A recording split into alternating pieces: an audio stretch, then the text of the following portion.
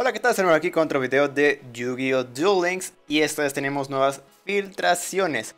Ojo, no son muchas, pero aún falta que la página eh, japonesa se actualice, así que puede ser que luego tengamos un poquito más. Así que estén atentos al canal porque podría ser que salgan ahora sí las habilidades de los personajes que se vienen pronto, porque aún tenemos habilidades para Carly normal. Y junto con ella podrían poner también habilidades para otro personaje nuevo.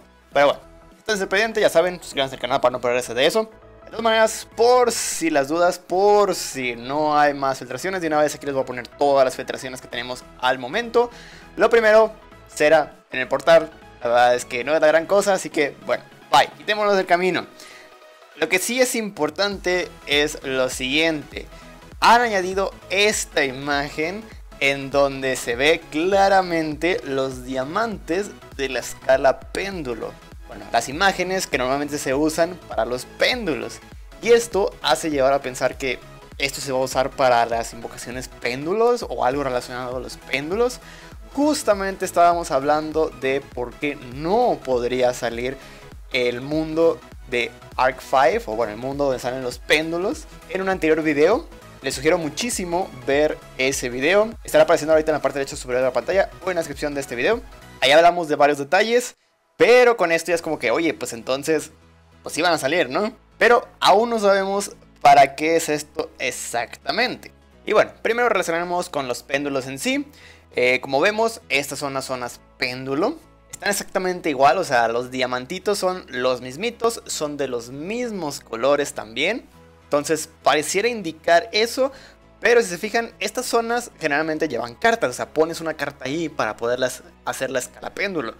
Entonces aquí es como que, ¿por qué tengo nada más este, estos botones y pareciera que pudiera apachurrar el botón de hacia arriba o hacia abajo? ¿Y dónde podría poner mis cartas? Además que el campo se ve exactamente igual a como está antes. Entonces no hay una zona realmente de péndulos aquí. Lo único que se me podría ocurrir es que cuando le piques salga la carta que tienes en esa escala y que se oculten esas cartas. Pero se me haría un poco raro. Y la otra cosa es que, bueno, si, si vemos la imagen péndulo normal de izquierda a derecha, que es normalmente como nuestros ojos lo ven, vemos que primero está la azul y luego la roja. Mientras que aquí generalmente vemos de arriba para abajo. Entonces primero veríamos la roja y luego la azul. Estaría un poco raro. Y la última es la barra que vemos ahí, una barra roja y azul. ¿Por qué habría una barra si lo único que tenemos que poner serían pues, los números, no? Nada más tenías que poner el número que tiene la escala azul y el número que tiene la escala roja para ya decir, ah, ok, puedes convocar entre esos números y ya. ¿Para qué poner una barra roja y azul? Y bueno, aquí es donde Random Plugs da su teoría. Por cierto, shoutouts a Random Plugs por todo, por la información y su teoría. Aquí él menciona precisamente que lo más seguro es que sea la función de votar en las salas. Ya se había filtrado esto antes. Yo infería que esto esta función de votar iba a ser por fuera del duelo, pero aquí vemos que están dentro del duelo. Entonces, si es la votación, aquí ya tendría mucho más sentido todo lo que vemos aquí. Ejemplo, primero, ¿por qué está el rojo arriba y el azul abajo? Bueno, es porque siempre el azul está en la parte de abajo y el rojo está en la parte de arriba. ya tenemos la razón por las cuales están esos dos. Y la segunda es la barra. ¿Por qué hay una barra? Ah, porque más gente ha votado por el jugador rojo, entonces la barra se va moviendo hacia el jugador rojo. Y si la gente ha votado más por el jugador azul, pues la barra se mueve más del jugador azul. Esto ya tiene mucho más sentido, así que creo que la teoría que tiene Random Blocks es lo más acertado, o bueno, por lo menos lo más cercano a lo que tenemos actualmente dentro de las filtraciones que no ha salido. Así que, al igual que él, yo opino que también es de las votaciones. Aún así, podría ser que sea de otra cosa aparte, pero la veo muy difícil que sea para los péndulos. Y ahora nos vamos a otro punto que es, si no es de los péndulos, ¿por qué están usando las imágenes de los péndulos? O sea, ¿por qué están usando los diamantitos de los péndulos? Esto ya pondría otro punto a favor de que no vayan a salir los péndulos dentro del juego. Debido a que ya están poniendo, además de lo que mencioné en el video la otra vez, están poniendo también las imágenes de los péndulos sin función de péndulos. Pero bueno, para corroborar tendremos que esperar hasta que saliera esta función de votación. Esperemos que salga el siguiente mes de abril para que ya sepamos exactamente qué es lo que hace esto. Pero ustedes digan en los comentarios qué es lo que opinan, qué creen que vaya a ser esta cosa, esta escala. Son péndulos, si es votación o si es alguna otra cosa que ustedes piensen. Y bueno, yo tenía pensado hacer precisamente una parte 2 de por qué no iban a salir los péndulos. Obviamente con teorías de por qué sí, por qué no, para estar a ambos lados.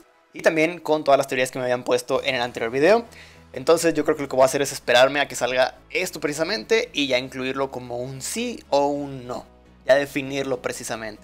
Así que no olviden suscribirse al canal para no perderse de esa segunda parte. Y como dije, no se olviden de ver ese otro video. Links en la descripción. Ahí únanse a la discusión de los péndulos.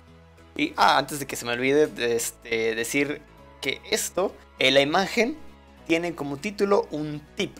O sea, esto nos va a aparecer como tips dentro del juego. Se me haría un poco raro que si es votación fuera un tip, pero pues igual. Tal vez den recompensas a los espectadores por atinarle varias veces a personas. Eh, ni idea, pero bueno.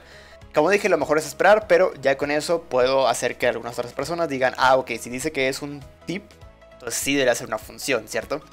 Pero bueno, ustedes digan en los comentarios qué opinan acerca de eso. Y así nos vamos a lo último, eh, esta nueva imagen nos dice que al parecer el ataque ahora se va a poder hacer eh, con la carta, o sea, picándole directamente a la carta. No estoy muy seguro de esto porque también si se fijan bien, ya está la flecha de ataque. Eso quiere decir que ya está atacando. Entonces tal vez sea un icono que sale justamente en el momento que ya está atacando para que sepas de que, ok, este monstruo está atacando. Pero igual se me hace un poco raro porque es como que estás viendo la flecha, estás viendo que se mueve la carta para atacar. Entonces se me haría un poco raro. Pero bueno, yo espero que sea efectivamente que nada más tengas que picarle al botón de ataque para que ese monstruo ataque y luego ya seleccionar el objetivo y cosas así. Eh, porque esto facilitaría mucho a la versión en Steam, en el cual tienes que picarle al monstruo, luego picarle el ataque y luego picar el destino. Pues ya con esto quitaría un, un clic. Así que creo que es una adición muy buena, como dije, especialmente para la versión de Steam. Listo, esas son todas las filtraciones que tenemos, como dije muy pocas, debido a que aún no han actualizado la página japonesa. Espérense a ver qué es lo que sale. Si sale algo más, obviamente se los haría llegar, ya sea por las redes sociales, ya saben. Twitter y Facebook son los que más uso, así que no olviden seguirme por ahí. De todas maneras, en cuanto pueda, les haría otro video con esas nuevas filtraciones. Esperemos que ya salgan los nuevos personajes. Y bueno, ahora sí me despido. Muchísimas gracias por ver este video. Recuerden dejarle like si les gustó. No olviden suscribirse al canal si no lo han hecho. Y nos vemos en la próxima. Bye.